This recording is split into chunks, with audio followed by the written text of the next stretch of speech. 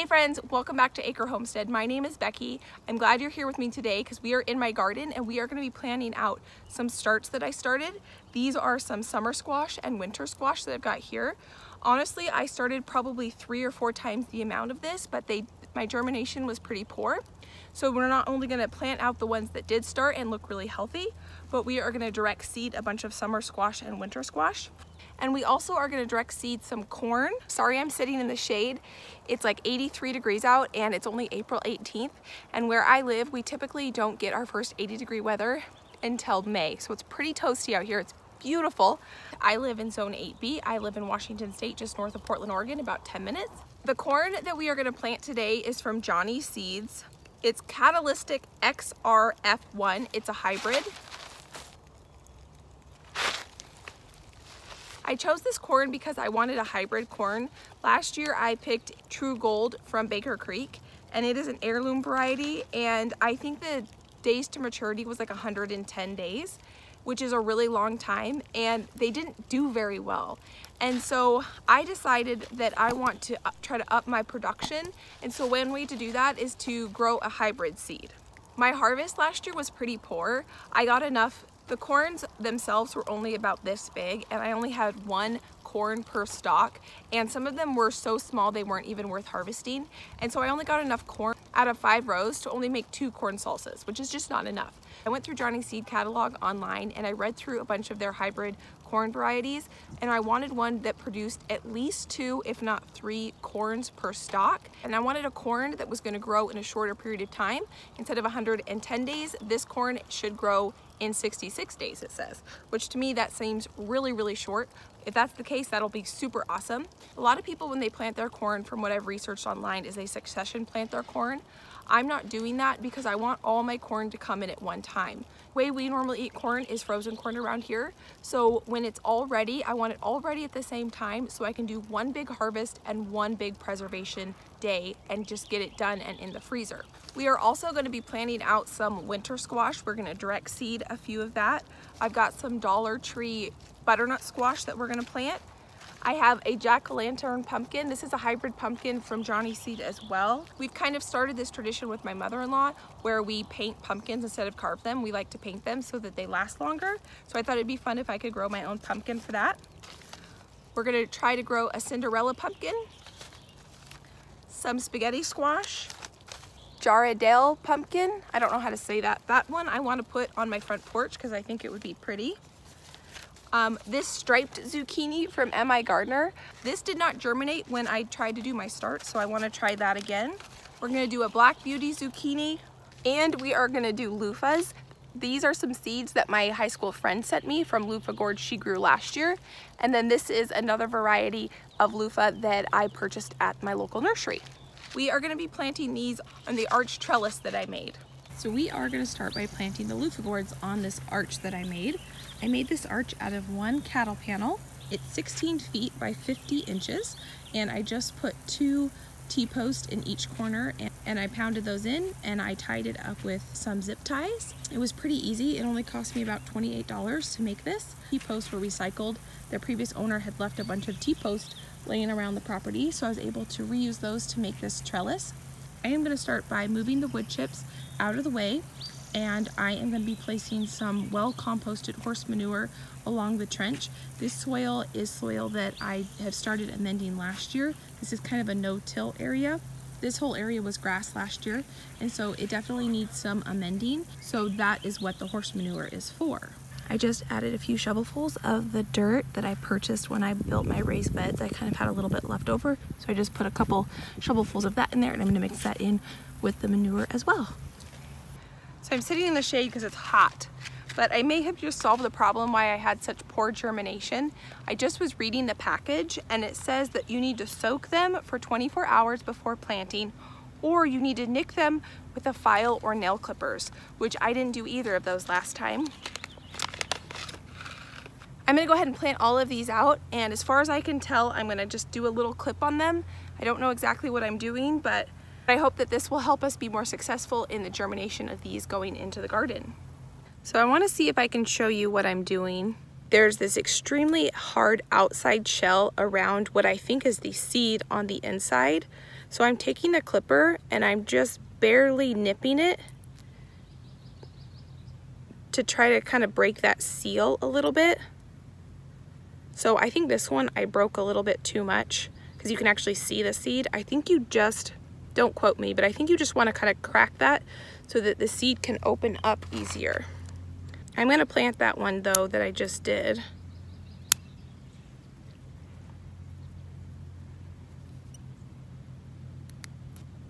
There we go. They've all been nipped. Now that we have our loofah gourd seeds snipped, let's go ahead and get them planted. The packaging says to plant three seeds per hole and 12 inches apart. So that's what I'm gonna go ahead and do.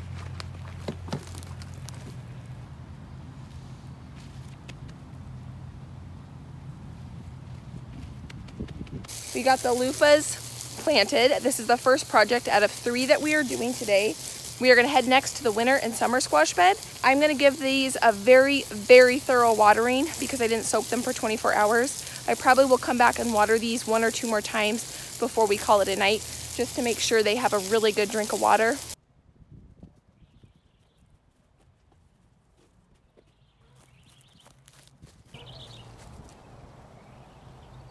Been sitting here for about 20 minutes way overthinking this zucchini and winter squash bed. Just really like feeling anxiety about it and like doubting myself and not sure what to do. I don't know. I think that I keep reading the back of the seed packets and I want more information on it and it's not giving me that much information. And so I feel like I should just get this stuff in the ground. I think I'm overthinking it.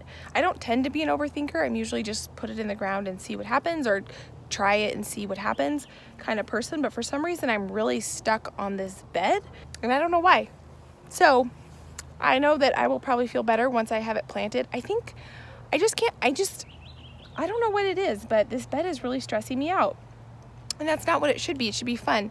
I think in my head what I'm trying to do is find the balance between how many zucchini plants I should have and the, where I should put the winter squash because I know that zucchini is very prolific and I really, I'm planning right now two, four, six, eight zucchini plants, which is probably way, way, way too many zucchini plants for my husband and I to go through that zucchini. But if I grow too much, that just means I'm growing more food for my chickens and that's less food that I'll have to purchase for my chickens. I kind of had this idea of throwing whole, those really big zucchinis we get and throwing them whole in the freezer. For the last couple weeks, I've been giving my chickens some frozen zucchini that I had chopped up that got freezer burned so I couldn't use it anymore and they love it. So I think that if I grow too many zucchinis it will be a good thing because then I can just pull one out and give them to the chickens. It'll be two things in the summer when it's really hot they'll be able to eat something that's cool and I think that will be nice for them.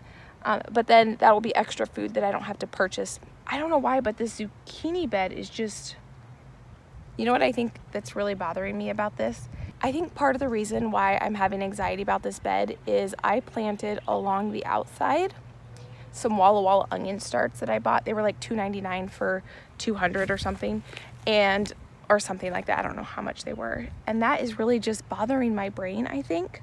Because what I want to do is have my zucchinis here and then like this, that's a, that's a Cinderella pumpkin, is I want those vining out along the edge and I feel like those onions are in the way. And I feel like I'm to be wasting those onions if I... I have dirt under my eye. And I feel like I'm to be wasting those onions if my winter squash like crowds them out and they're not able to grow, which is totally silly because those onion starts were very inexpensive and I have over 500 or 600 onions. I don't know. I have a ton of onions planted so if I lose two or three because I'm growing a 15 pound winter squash, that should be okay. And part of it I think is I I'm wishing that I was more of a planner. Um, I've, I've commented a lot that I don't really plan my garden. I just come out here and feel it. And that's a good thing and a bad thing. It's a good thing because I'm able to just do things. I tend not to get caught up in analysis by paralysis. Um, but I feel like I'm struggling with that right now that's exactly what I'm struggling with. I'm overthinking this. I don't want to waste anything. I feel like I should know what should go where and where it should go when I should plan this, but I need to give myself grace because this is only my second year doing this. And you know, if I lose a couple onions because I want to plant a winter squash there, or if I plant too much zucchini, um, I think it'll all be okay. So I just need to just get some seeds in the ground and then just move forward and just learn from it. Thanks for hearing me out on that. I feel a lot better. Um, after talking to you guys, I just grabbed some seeds and plopped them in here. I haven't put them in yet, but I grabbed the packets and kind of have an idea of what I'm gonna do. I think in this world with the internet, we have so much information at our fingertips that if we feel like we don't know something or we can't just like Google it really quickly to like know what the right answer is, we can get overwhelmed. And that was me in that moment right there. But just think like even 30 years ago, you couldn't just Google anything. And so there might have been like a piece about just doing things.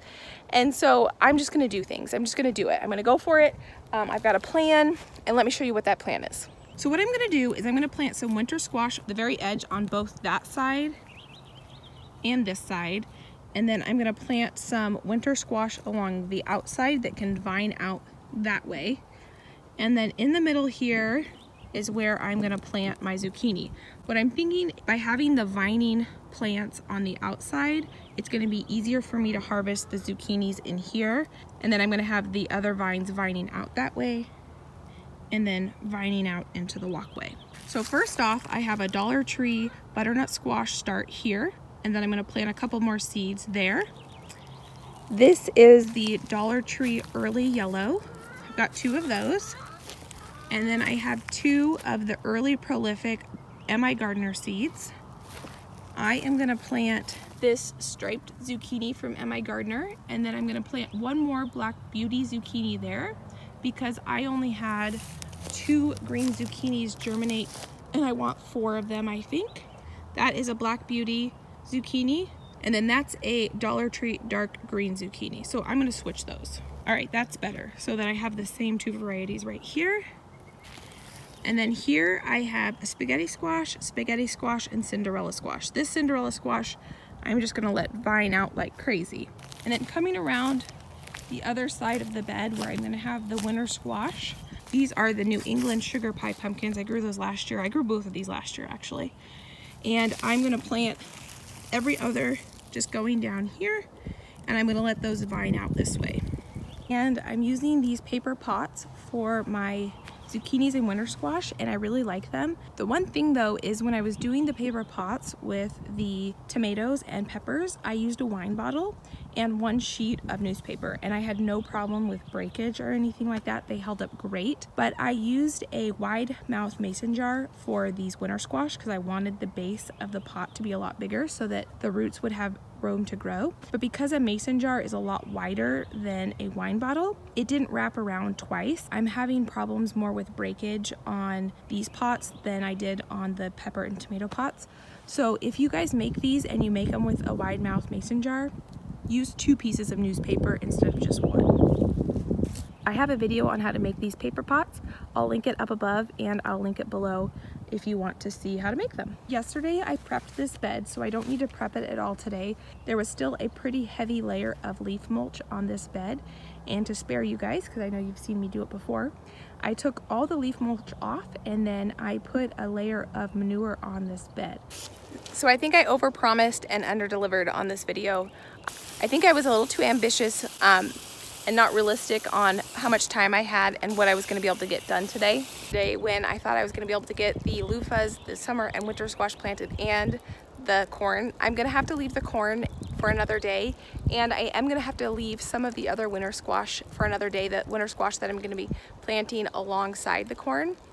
I am still really happy with what I got done today. I think that mental hurdle of figuring out this bed just really drained me, which is fine. That's part of the process. And I just need to be okay with what I got done. By not getting the corn done today, that just means it's one more afternoon I get to spend out here working in my garden. And so that's never a bad thing. Let me know if you guys struggle with gardener's doubt or anxiety or anything like that almost anytime I plant something, I have anxiety about it and I doubt my ability. My corn that I planted a few videos back, I was convinced that it wasn't gonna come up and actually replanted that bed there because when I got home from that girls trip that I went on right after planting it, it looked like some rodent or something had scurried through it and I thought that maybe they had eaten all the seed. And so I replanted it. But then now today, there's tons of carrots sprouting. And another example is after I planted my kale, they didn't do anything for like three weeks and I was convinced that they weren't gonna do anything. I was like, well, they're not gonna grow. Because there's not enough sun or, or my ability to do starts is poor and so they're stunted or something. And now they're looking fantastic. If you guys have ever experienced anything like that, um, leave them in the comments below. And if there's anything that helps you with that like anxiety or that gardener's anxiety or gardener's doubt, what helps you with it? I hope you guys have a fantastic day and I will see you next time. Bye guys.